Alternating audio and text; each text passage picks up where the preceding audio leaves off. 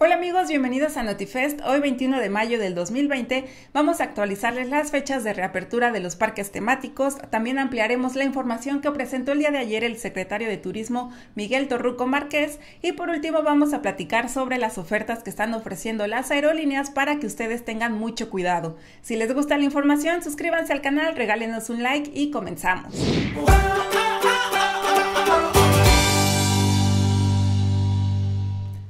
Hola amigos, bienvenidos. Antes de empezar con toda la información que queremos compartirles, me gustaría agradecerle a nombre de Rosy y mío a todas las personas que nos están acompañando en el chat de esta transmisión. Ayer, eh, la verdad, hasta nos hicieron un donativo. Muchísimas gracias. Eh, lo hacemos con mucho gusto y el objetivo de tener el chat habilitado es poderle, poderles ampliar a ustedes la información de lo que nos pidan o también contestarles algunas preguntas de las dudas que surjan sobre todo esto que les estamos compartiendo. Estamos muy al pendiente de eso y también de los comentarios que nos van escribiendo pues una vez que ya se publicó estos videos. Más adelante les voy a decir por qué ha sido tan importante su participación y bueno, ahora sí vamos con esta información. Muchas personas están preocupadas porque tienen boletos a Xcaret. ¿Por qué está pasando eso? Bueno, es que el parque había dado una fecha tentativa de reapertura y cuando se extendió la jornada de sana distancia aquí en México, pues tuvieron que postergarla. Y nuevamente el día de ayer, ante toda esta polémica que les hemos estado platicando de que los hoteles querían abrir el primero de junio, que después el gobernador de Quintana Roo dijo, nanáis, se abren a lo mejor hasta el 8 y eh, pues ahorita el parque ante, ante, esta incertidumbre pues sacó un comunicado que dice que no, que mejor se esperan hasta el 15. Todavía no están listos los protocolos de eh, seguridad de eh, nada más tienen ahí lo que ya les presentamos, estos eh, cuatro grandes rasgos de, de, qué se va a tratar. Le dan descarga el nuevo protocolo, aún no me llega nada por email, pero lo que sí nos encontramos y que ya eh, pues validamos con las personas de relaciones públicas de Grupo Xcaret, pues es esta carta donde precisamente anuncian esto del 15 de junio. Vamos a leer lo más importante que es esta parte. Con la más reciente información sanitaria oficial y dando más holgura a una pronta recuperación del destino, hemos decidido reprogramar la apertura de nuestros parques Xcaret y Hotel Xcaret México al 15 de junio y nuestros demás parques y tours al 1 de julio. Agradecemos tu comprensión y paciencia. Bueno, lo demás es, eh, habla de que van a tener eh, pronto estos protocolos y bueno, pues también que quieren hacer más feliz al planeta contagiando nuestro gran amor por México. Pues esa es la información y tiene bastante sentido porque si el destino turístico va a estar abierto quizás hasta el 8 de junio, pues no tendría tanto caso que el primer día pues abrieran ya que va a haber muy poquitos visitantes. Ahora, ante la preocupación que tienen muchos sobre sus boletos de Xcaret, no hay tanto problema porque desde que empezó todo este problema, este, pues esto de la pandemia, Xcaret puso que sus boletos, aunque los hayas comprado para una fecha, van a tener vigencia para un año. Entonces, si no los utilizas para el verano del 2020, no te preocupes, los puedes utilizar para el verano del 2021 y quizás todavía se pudiera ampliar más ese plazo, de eso no tenemos información, pero pues es una tendencia que estamos viendo, más adelante les digo por qué. Ustedes si tienen algún vuelo hacia Cancún o Playa del Carmen, pues ojalá también lo puedan recorrer porque pues no va a tener caso que vayan si el parque no está abierto, si a lo mejor todavía no hay restaurantes ni tiendas, tampoco tours hacia Isla Mujeres o Cozumel, pues mejor vean la manera de posponerlo.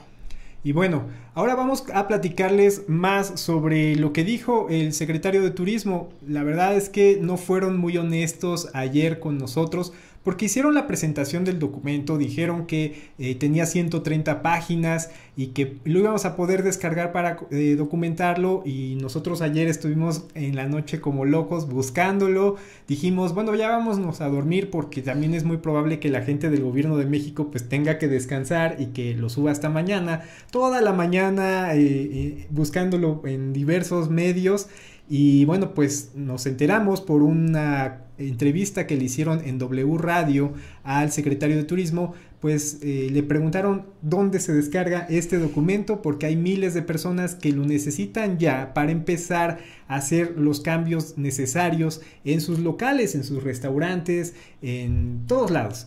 Entonces el secretario tuvo que eh, pues decir que no está listo aún, que siguen trabajando en algunos detalles y que probablemente la semana que entra pues ya esté disponible para que todo mundo lo pueda checar. Nosotros tuvimos acceso temporal a ver el documento y lo que les podemos decir es que no va a ser de 130 hojas tal como lo dijo el secretario porque eh, por lo menos en la parte de los parques temáticos aún no hay información. Sabemos que sí están trabajando con Xcaret, que están trabajando a lo mejor con eh, este Six Flags y con algunos otros parques como de Vidanta Park, pero todavía no han llegado. Y eso está bien, no se trata de apresurar las cosas. En este momento tenemos que ser pacientes no por sacar algo express vaya a salir algo que esté mal hecho.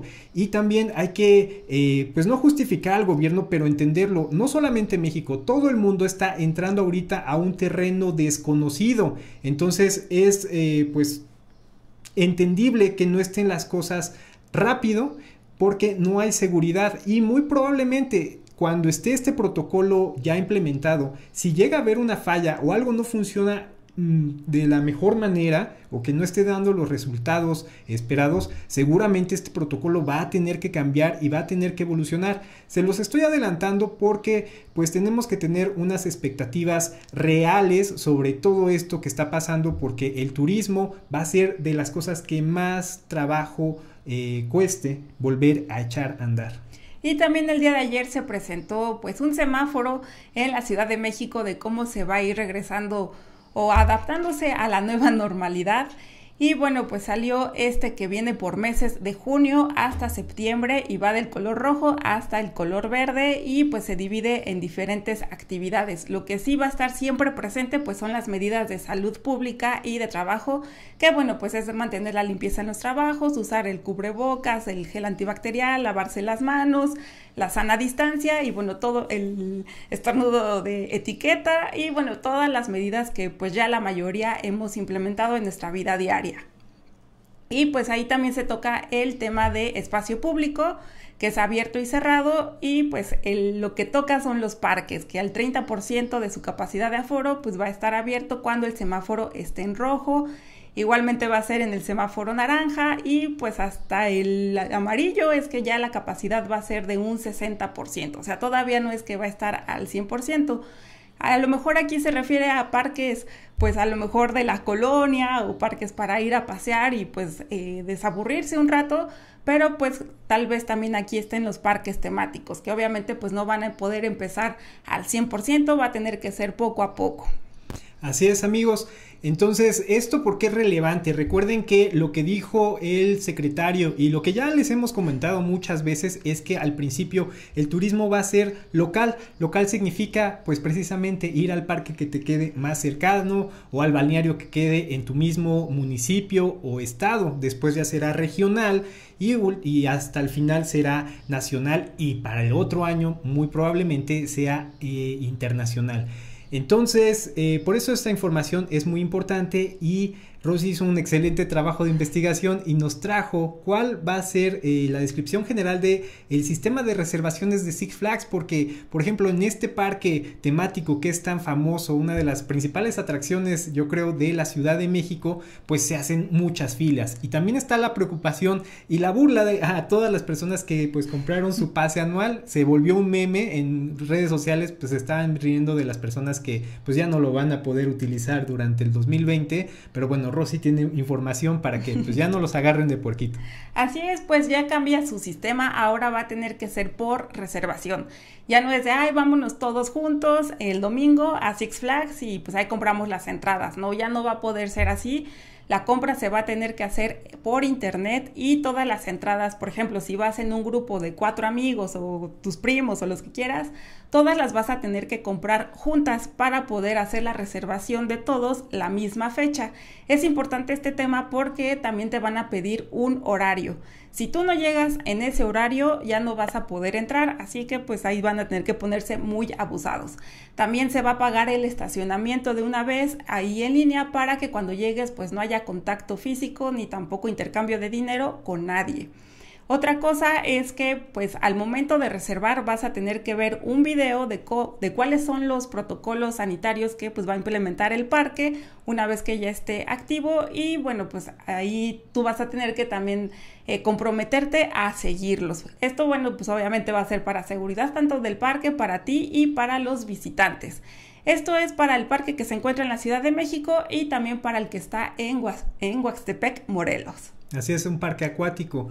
Lo que también eh, vamos a ver una tendencia, yo creo que en cines, en parques, en los parques temáticos, obviamente, va a ser políticas de cancelación muy flexibles. ¿Por qué? Porque no es culpa de uno, no decide nadie enfermarse de repente, ¿no? Es algo que simplemente pasa y que es probable que pase aunque traigas la careta, el em, cubrebocas. con que te laves las manos, no sabes en qué momento puedes eh, pues adquirir la enfermedad y entonces tener que cancelar tus vuelos, tus entradas a parques, tus reservaciones, etcétera, etcétera. Entonces, eh, vamos a ver ese tipo de políticas de cancelación. Ya hablamos de que en Xcaret pues vas a obtener un año para poder utilizar el boleto, aunque ya estés ahí en Playa del Carmen y ya vayas, pero pues sabes que te empezaste a sentir mal, no te preocupes, vas a tener más tiempo. Lo mismo dice aquí eh, en Six Flags y también nos han estado preguntando acerca de, de Vidanta Park allá en Nayarit,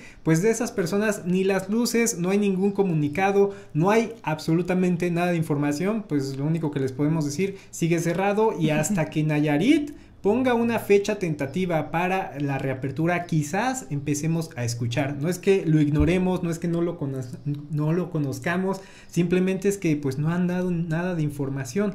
Otro punto, perdón, eh, en cuanto a la reservación, si por ejemplo ustedes quieren ir eh, X día y no hay lugar en ese momento, van a poder anotarse en una lista de espera. Un día antes de cada visita, pues la gente de Six Flags se va a estar comunicando con la gente para pues realmente verificar que sí van a asistir y también recordarles el protocolo sanitario para que pues vayan preparados. Así que bueno, pues mejor es planear bien esa ida y no llevarse alguna sorpresa. ¿Sabes qué va a estar muy interesante? Ahora, eh, pues los viajeros de la nueva normalidad, así vamos a llamarles, que vayan, por ejemplo, en este verano a Quintana Roo va a ser muy interesante, o a cualquier otro destino, va a ser muy interesante que bloguen, que nos platiquen cómo son estas experiencias, porque pues va a ser muy importante que se hagan bien estos protocolos, porque de todo eso va a depender que el último trimestre del año, que es cuando muchos sí vamos a viajar, porque ya tenemos nuestras reservaciones o porque ya sentimos que es un momento seguro, pues que veamos si nos gusta esta nueva normalidad o, qué.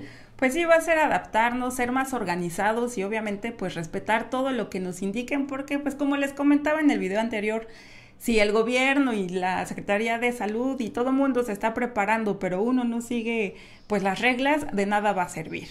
Y bueno amigos, ya por último vamos a mostrarles esta información. Son eh, ofertas, han estado llegando más agresivas, vuelos de cero pesos según Interjet.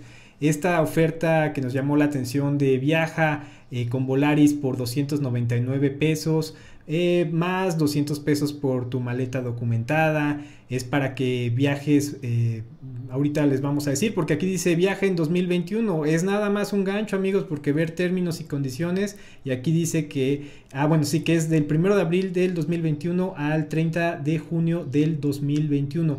Eso sí, ya incluye los impuestos, está muy, muy barato y es porque a las, eh, a las aerolíneas les surge ahorita liquidez.